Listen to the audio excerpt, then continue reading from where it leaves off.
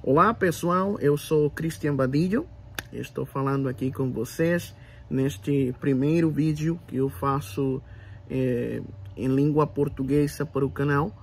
Hoje vamos falar sobre o fenômeno OVNI, ou também conhecido recentemente como o fenômeno UAP, e uh, o cristianismo. Eu sou cristão, eu acredito eh, na Bíblia como a palavra de Deus. Eu acredito que Jesus Cristo é, é Deus encarnado, que Jesus Cristo é o caminho, a verdade e a vida para a vida eterna. É a salvação se obtém somente através de Jesus Cristo. É, eu sou cristão, sou cristão, mas eu também acredito é, no fenômeno é, OVNI, fenômeno UAP, é, porque é uma realidade que nós não podemos ignorar. Eu, pessoalmente, fui testigo é, várias ocasiões na minha vida de avistamentos de OVNIs é, aqui no Porto Rico, que é o país onde eu moro, sou porto-riquenho, eu sou do Porto Rico, é, assim como dizem em português, Porto Rico, Puerto Rico em espanhol. Eu levo quase três ou quatro anos falando nesse canal eh, para uma audiência maioritariamente hispanohablante ou gente que fala espanhol, língua castelhana. Então eu decidi falar, fazer um vídeo em português para ver se alguma pessoa do Portugal ou do Brasil eh, assiste este vídeo e nos comenta e nos dá sua opinião sobre as coisas que nós falamos aqui. É, como iba dizendo, é, como estava dizendo, é, eu faço vídeos e lives é, no meu programa A Noite de Tertúlia, ou Noite de Tertúlia, em espanhol, onde eu falo sobre diferentes situações no meio evangélico, é, político, social, é, diferentes temas. E levamos dois anos falando sobre o fenômeno OVNI, e sua relação com o que fala a palavra de Deus. Nós acreditamos que a Bíblia fala do fenômeno OVNI desde o livro de Gênesis até o Apocalipse. Podemos ver continuamente a manifestação dos seres de outros mundos, de outras dimensões, de outras realidades, interactuando com seres humanos. Nossa perspectiva do fenômeno OVNI é, é parecida ao que propõe é, o científico Jacques Vallée, a hipótese interdimensional do fenômeno OVNI ou fenômeno UAP. É, nós acreditamos que os seres e os OVNIs que nós vemos, os objetos transmedium, que vemos nos diferentes lados do mundo, no ar, na terra, debaixo da terra, na água, que tudo isso é, tem é, uma origem interdimensional. Mas não descartamos que também tenha é, uma origem extraterrestre. Eu, eu acho que é uma combinação de ambas coisas. Mas me inclino mais pela hipótese interdimensional. Muitos ufólogos estão inclinando-se pela, pela, por essa linha de pensamento eh, da hipótese interdimensional de Jacques Vallée. Eh, muitos, eh, Jacques Vallée não é cristão, obviamente, mas é uma pessoa que tem uma visão do fenômeno UAP diferente ao que a maioria das pessoas conhece e tem muita relação com muitas coisas que falam a Bíblia. É, séries de outras dimensões. A Bíblia fala de outras dimensões. A Bíblia fala do é, terceiro céu, do trono de Deus, de, o reino dos céus. É, Jesus diz que seu reino não é deste mundo. É, vemos na Bíblia é, engenharia é, genética, é, clonação, ADN é, no livro de Gênesis com Adão e Eva, nós também vemos é, manifestações de seres ex, é, extraterrestres interdimensionais é, no livro de Éxodo, no cruzamento do, do Mar Vermelho, é, Moisés, é, vemos que ele vê cara a cara Deus e os 70 anciãos é, do Israel subem no monte, de, é, monte Sinaí e eles veem a Deus cara a cara, face a face. É, vemos a história do Jacó, a, a ladeira do Jacó, a, a escada do Jacó.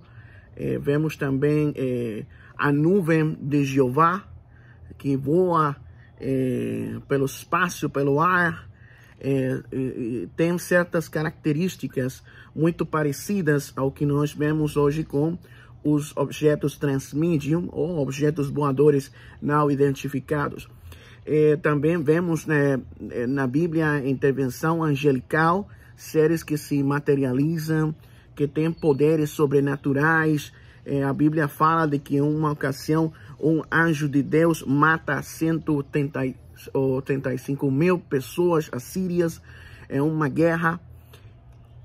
Também vemos que eles, o servo, é, o servente, não, me desculpe se eu não lembro bem o termo em português, é, uma pessoa que ajudava o profeta Eliseu, ele vê é, outra dimensão é, de séries de fogo, carros de fogo, é, séries de fogo, cavalos de fogo que estão com eles, mas pela simples vista não se podem ver. Mas nessa outra dimensão eles estão presentes. Nós também vemos o caso de eh, Elias, quando ele é, é arrebatado é, é, no, no, carro de fogo, de uma coisa estranha que leva ele para outra dimensão. Também vemos o caso de Enoque no livro de Gênesis. É, Jesus mesmo, vemos é, a anunciação do nascimento dele, é, a Virgem Maria, que ela é, é, é grávida pelo poder do Espírito Santo, que pode ser interpretado hoje em dia como uma espécie de inseminação artificial. É, vemos também é, o livro de Gênesis, capítulo 6, que também acontecem coisas parecidas com os Bene Elohim, que se misturam com as filhas dos homens e criam uma raça de Nephilims que corrompem a humanidade e são uma das causas do dilúvio universal é, a história do Arca de Noé e tudo isso. É, também vemos, voltando a Jesus, o caso do, da nuvem de luz é, que, que fala, disse, este, é meu, este é meu filho, a ele escutar, no, no, no cima do monte alto, onde aparece, onde aparece Moisés e Elias, é a caso da transfiguração.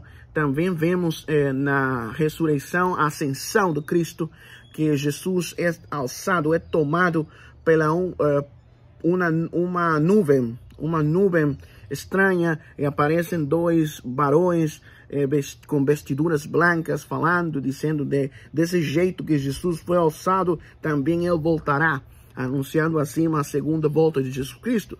Eh, no livro do Apocalipse também vemos a, a segunda volta desde nossa, nossa perspectiva é, Apocalipse 19 fala da segunda volta de Jesus, é uma espécie de invasão extraterrestre é, para libertar a, a, o mundo da escravidão, a escravidão em que a besta e o falso profeta e o dragão têm o planeta Terra.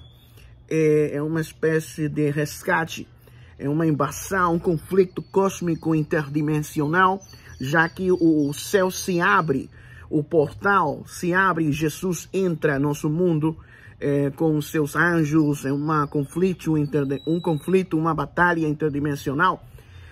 Tudo isso acontece no livro de Apocalipse. E nós estamos propondo, propondo, propondo isso nosso canal é, para que a gente, é, quando eles é, leiam, leiam a Bíblia, a Bíblia, entendam que existem outras maneiras outros, outras maneiras, outras interpretações que podem falar sobre o fenômeno UAP, UAP, o fenômeno OVNI, na Bíblia. E, e, nós acreditamos isso. Temos um problema também no, no meio evangélico. Muitos cristãos é, evangélicos de, de, batistas, presbiterianos, reformados, que não acreditam no fenômeno UAP, eles dizem que isso é uma mentira do diabo, que isso não existe, que é impossível que exista vida eh, em outros lares do universo, lugares do universo, ou que existam outras dimensões. É, é uma negação constante desses cristãos reformados, mas eles têm um problema porque o fenômeno UAP é uma realidade já reconhecida pelos governos do mundo. É, temos o, o, presidente dos Estados Unidos recentemente é, assinou uma lei onde ele reconhece indiretamente o, o fenômeno UAP e, esta, é, e também ordena é, o estabelecimento de uma oficina de investigação sobre o fenômeno UAP. Temos também o, o, o Pentágono, a NASA, o FBI, Todas as agências governamentais dos governos dos Estados Unidos estão estudando, investigando o fenômeno UAP. Também temos no Brasil, no Chile, na Inglaterra, todos os países do mundo estão falando, investigando sobre o fenômeno UAP como uma realidade e possível ameaça para a segurança nacional da, do planeta Terra. É, porque não, eles dizem que não sabem qual é a origem da, do fenômeno, mas é, possivelmente conheçam, mas agora estão acontecendo certas coisas que eles consideram uma, uma ameaça.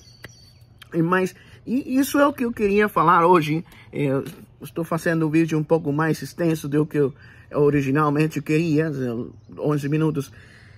E esse é o nosso canal. Nosso canal eu falo do cristianismo e também do fenômeno UAP. Para aqueles que queiram uh, assistir nossos vídeos, o canal está aí, este vídeo vai estar aí.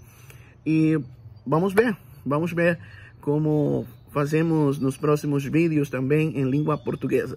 Assim que eh, os deixo, graça e paz e nos vemos na próxima.